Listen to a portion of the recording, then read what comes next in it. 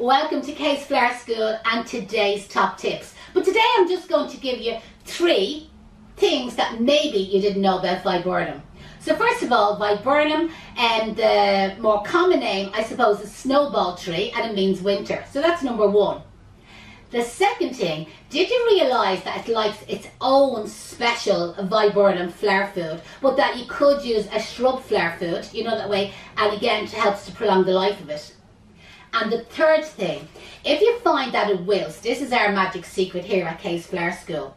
What we do is we warm up the end of a vase, so with some hot water, like you're making a pot of tea, warm up the teapot. So we warm up our vases.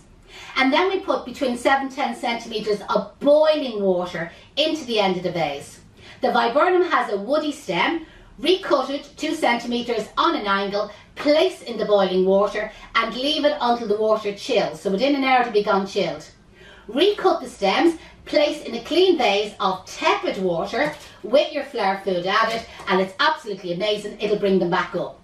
Join us each day for today's top tips over on Kay's Flower School social media pages.